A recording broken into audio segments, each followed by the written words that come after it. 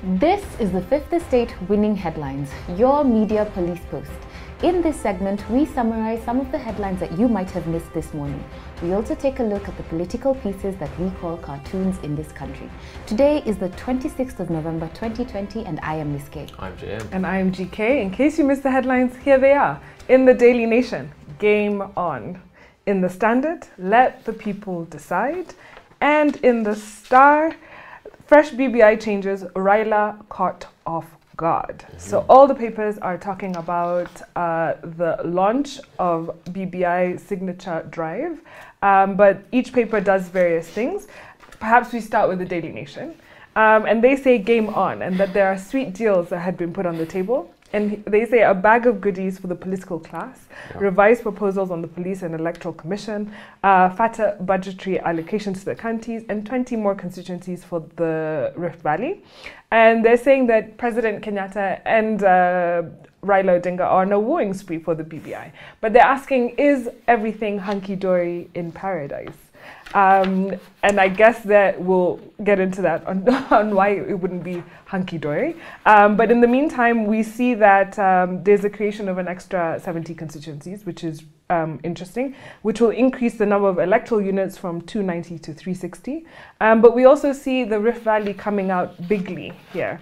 We have uh, West Pokot, Nandi, Bomet, Uasin Gishu each getting uh, a number of constituencies added to them, as well as Kwale. Um, and then we also see that the MCAs, um, on top of the ward development fund that was in the earlier draft, they've been added uh, the fact that they can now be members of the um, executive uh, committee members because before, previously, those were not members of the assembly. Mm, What mm, else has changed, guys? mm, mm. So the other thing uh, that is a big deal is the 14 deputy ministers. At least 14 and not more than 22 deputy ministers. Uh, and this is supposed to, you know, these these people are obviously going to be supporting the ministers as they go about their, their work. But these are also political positions of stature, of clout, uh, which are also supposed to uh, create this perception of inclusivity. Brilliant idea to go back to this system, but I just I don't know why they decided deputy minister and not assistant minister. The fact of the matter is, Nomenclature. Uh, the we will still call them assistant minister. and not deputy. yeah, um, yeah. That's I think um, the, the, in in terms of the big things. yeah. Yeah, that's that's another another thing over there. Yeah. Okay. I, I'll speak to the issue of all being hunky dory, and I think the, this is in reference to the fact that the Deputy President, William Ruto, was not present at yesterday's Mm. event. Yeah. In fact, the standard references the fact that he says he was not invited to yesterday's launch of the signature collection, and his spokesperson, Emmanuel Talam, says that Ruto was not invited to the event. If anybody claims to have invited him, let him show you the invitation letter. Isn't there like a state house circular that says We're going to be something's having these events in the next coming weeks, and you should make yourself available. Maybe he needs to reset his Zuku or something. Perhaps the internet was not not working. But on that, I'll say this. Uh-huh. I feel like William Ruto and um, Uhuru Kenyatta are like my parents, if I could so speak. And I was not present when they decided they're going to hook up. And I should not also not be present should they decide that there's now a new person Yes. in town and they're breaking up. I'll just continue to be a child and think about the BBI. We Yeah. should all continue to be children. May I touch a little bit on the star? T- turn a blind eye. Yeah. Sure. Now the star is telling us that Raila was caught off guard, Mm. and here they're making reference to the fact that he spoke about the, uh, amend- the the proposed amendment to have political parties be the ones to select the commissioners of the electoral commission. Yeah. Uh, and uh, obviously, in the bill that was published yesterday, that has been expunged altogether. So status quo prevails Yeah. as far as IBC is, is concerned. And so they were speculating and wondering, was he not briefed on the changes? Yeah. But the fact of the matter is, you know, Raila was making a point, uh, and he was making a point regardless of whether it was there or not, uh, and a very valid one at that, regarding uh, how if political parties are involved in the selection of commissioners, then the, the contestations thereafter are much lower because you, as the political parties, are the ones who selected the commissioner. Yeah. So you can't come and start telling Kenyans the election was not fair. He failed me. Yeah, I, so it's actually regrettable that they uh, took that out altogether. Yeah. Uh, I think Kenyans didn't sufficiently understand the- What it meant. Yeah, what, what that meant precisely. Man. Mm. Yeah, and just lastly, uh, religious leaders also got some concession. Uh, they secured the inclusion of the provision that says supremacy of the Almighty God in shaping the destiny of our country. Mm, Uh, so that was interesting. Well, we have a three part criteria that we will use to break down the headlines. We'll ask ourselves is it topical or speculative? Is it repetitive or groundbreaking? And is it thoughtful or just plain lazy? Um, they're all topical. Yeah. I quite like the Daily Nation because it really So is game on now. Me They- three. I think Daily Nation is our highest contender. There you have it. Daily Nation gives us our winning headline. On to the political pieces that we call cartoons in this country, where we also have a three part criteria. We ask ourselves is it humorous or dry? Is it satirical or pessimistic? And is it effective or just plain lazy? We only have two cartoons today. Gado, I think, drew something quite crazy. So perhaps let's- let's do the Daily Nation. And in it, we have a caricature of none other than Deputy President William Ruto, and he's in his signature pink pants uh, on his wheelbarrow, and he's on some train tracks. And the train that is fast approaching is a BBI train with a reggae scarf up top. you can't stop the reggae train. Yeah. And you know, I think even if uh, DP decides to pull a stop, not show up to events, things Mm. like that, BBI is happening. It's So happening. Either you join in and say what your goodies should be, Yeah. or you Step out of the way or lay flat and be rolled over. there you have it. Absolutely. And there's no way he was going to be invited to yesterday's event to once again, you know, dampen the mood of the crowd. He was going to be booed it. He was a party pooper. Party pooper. You don't invite party poopers to parties. Yeah. Well, let's So- pack it. Oh, In the man. Star, uh, we, we've got the signature drive cartoon here, and we've got caricatures of Uhuru and Raila on a luxurious carriage being drawn by Kenyans. Um, and the two are using a pen to dangle the BBI signature uh, form uh, in front of the Kenyans uh, in order to keep it moving. Mm. And the narrative here seems to be that, well, the, the Kenyans here seem very excited. They really do. They seem to have certain hopes and expectations in BBI solving some problems. Mm. And then uh, you've got these guys in the carriage uh, leading the country. It's altogether not a bad cartoon. It isn't, and I like the reference to the carrot and stick, but here there's no stick, it's actually the pen, which is for now mightier than the sword. So Exactly. I think it's all good. Yeah, So yeah, yeah. good. Okay, and hopefully people take it seriously. I'm glad that they're taking more than the one million signatures, uh, so Yes. that th- for the avoidance of doubt, you know, Mm. that this this this will pass. Who do we give our winning cartoon, guys? Nobody can stop reggae, guys. Yeah, I like that too. Daily Nation gives us our winning cartoon. And now for our final thought. But before we get there, please remember to subscribe to our YouTube channel. Our final thought today is inspired by The Origins of Totalitarianism, a book by Hannah Arendt. Hannah Arendt was a German Jewish intellectual who fled Germany with the rise of Adolf Hitler in 1933. Mm. She lived in Paris as a stateless refugee and a Zionist activist until 1941, when she then fled to and settled in the United States of America. She first published this book in 1951, and, it and she derives totalitarianism from three things mm. anti Semitism, overseas imperialism with its underpinning of the nation state, and mm. tribal nationalism. According to Arendt, history has given us only two truly totalitarian states. Hitler's German, Germany and Stalin's USSR. Hmm. But the conditions that lead to totalitarianism and the tools it deploys are more universal and they can lead to tyranny anywhere. Hmm. Arendt explores these conditions in the book's first two sections. According to her, the racist and expansionist principles of anti Semitism and imperialism were critical in laying the foundations and grounds for totalitarianism. We all understand the banality of evil, to quote mm. another of her books, in anti Semitism, but she says that for all its missionary pretenses, imperialism inevitably created racial hierarchies to justify the subjugation and even in some instances the elimination of what it considered inferior races. The Nazis and the Bolsheviks mm. used the post First World War breakdown of the nation state as an opportunity to establish their totalitarian rule. Mm. They used different ideologies towards the same end total world domination. Though Stalin instrumentalized Marx, material, uh, material dox, uh, doctrine, Marxism, and Hitler a racist one, anti Semitism, they relied on common, t- common tools.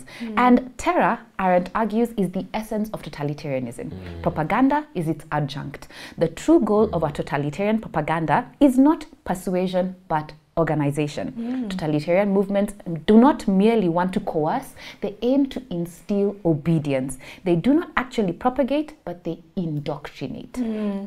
The lies are purposeful and are part of conditioning because the ideal subject of a totalitarian rule is a people who for whom the distinction between fact and fiction and the distinction between true and false no longer exist. Mm. Interest in this book actually saw a resurgence with the election of the Donald, mm. Donald Trump. Why? Because commentators saw it as a cautionary tale of how US democracy could break down into totalitarian rule. Mm. Commentators referenced the book severally and compared Donald Trump not to a politician but to the leader of a mass movement. Oh. And they made comparison, comparisons between Trump's self professed mass movement and totalitarianism.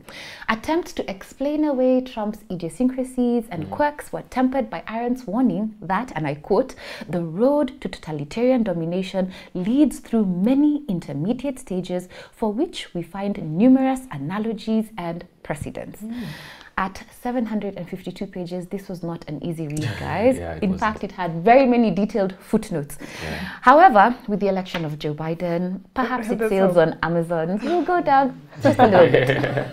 you don't have to worry so much. Absolutely. Speaking of Trump, uh, by the way, he's starting to pardon people uh, just because he knows uh, as soon as December comes and goes, January, he's out of office. Yeah. He'll probably be pardoning himself as well in the coming weeks.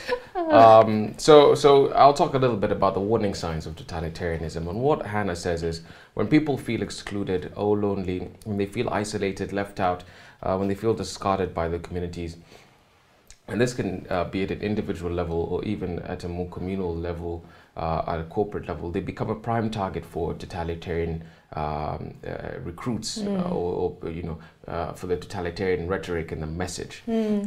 and that's because she says when you lose your community you lose um, your sense of self you lose your identity you get hopeless and the like uh, and and so in that desolate and vulnerable state there's a longing for something else uh, to come along and fill that void and make you feel like you belong once more and oftentimes in history we've seen that this has been the point at which uh, someone with totalitarian tendencies, people like Mussolini, people like Hitler, swoop in uh, with with that kind of rhetoric that restores confidence um, and and gives all sorts of promises to restore.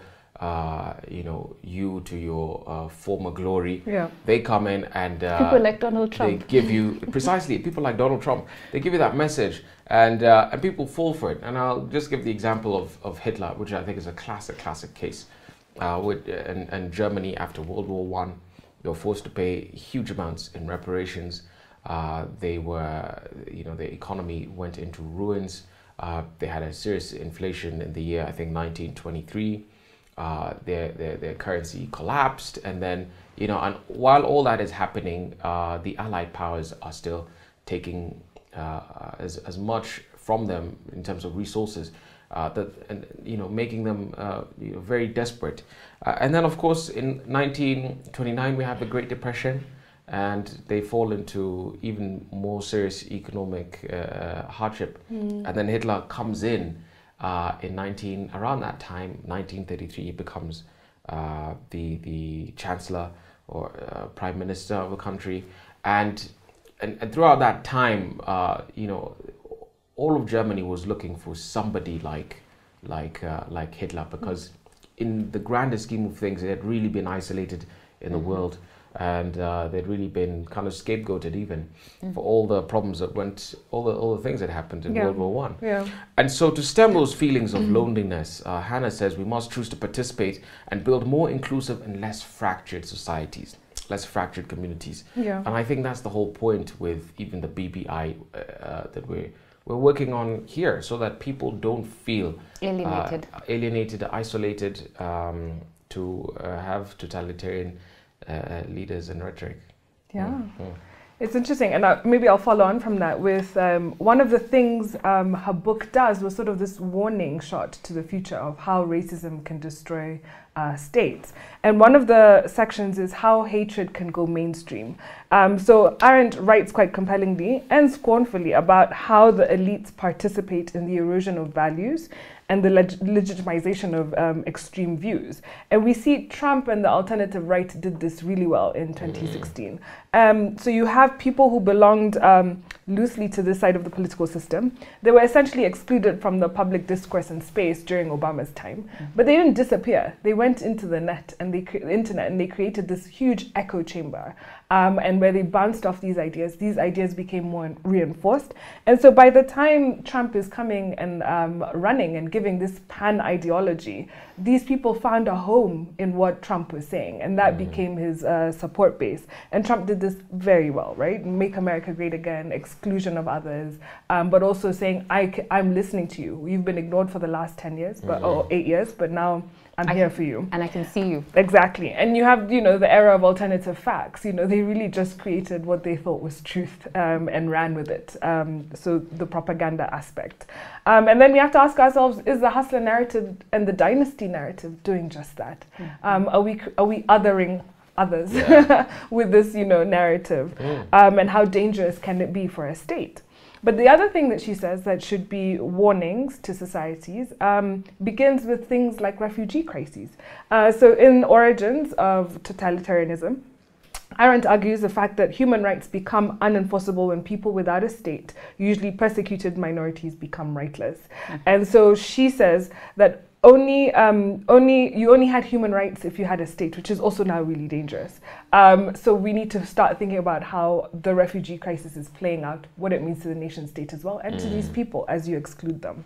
And she says that ignoring the rights of others is at risk only to your own. And she says that um, the for the nation state cannot exist once its principle of equality before the law has broken down. So if you break it for others, you're breaking it for everybody else, and yeah. it can be dangerous. It can come back around to you. Mm. Um, and then one of the other things I picked out was that Arendt was one of the first people to draw a line between two major, previously disparate um, strands of history. Um, that is the hor- horrors of totalitarian regimes in Europe and the brutality of colonial regimes. And we know the latter quite well in this country. Mm. And she says that imperialism harmed not only their victims, but also the states that perpetrated it. So, two new devices for, for political organization and rule over foreign peoples were discovered during the first decades of imperialism. One was race as a principle of the body politic, and the other, bureaucracy, as a principle of foreign domination. In summary, she says, imperial, imperialism was the meeting of racism and bureaucracy. Mm. Mm-hmm. It sharpened and honed racism into a scientific, bu- bureaucratic way of running a state. It's really powerful. Really um, powerful. So I really liked the book. It was a hard read. I can't say I went through everything, but I picked out bits. Um, but everyone should. Um, so on a day where we had a winning headline from the Daily Nation and a winning cartoon from the Daily Nation, I want to leave you with Arendt's quote on evil, and she says. If we think of evil as this one person, this one big event, then we want to tend to match it with one big display of resistance. But actually, if evil is banal, a set of ordinary, mundane decisions day by day, uh, then maybe we have to start living differently. We have to start seeing that evil happens quite small, quite undercurrent, um, and the only way to match it is in our daily acts, coming together. And what uh, JM was saying, you know, human dignity coming together, inclusivity. Um, we need a new guarantee that we can live together and have a, a better society. So have a lovely evening. Please subscribe to our YouTube channel. Find us on TV on GoTV, Prime Peter Air.